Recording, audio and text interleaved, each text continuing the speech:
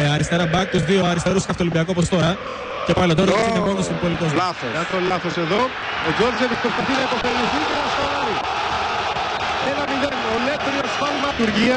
Την ανασταλτική λειτουργία του Άρη από τη μεσαία γραμμή και πίσω.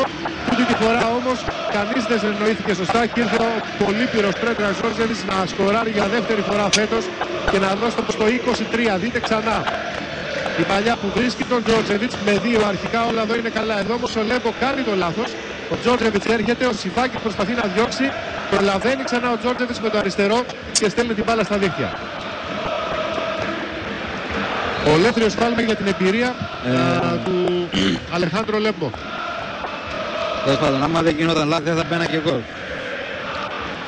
Σημασία είναι ότι ο ο Ολυμπιακός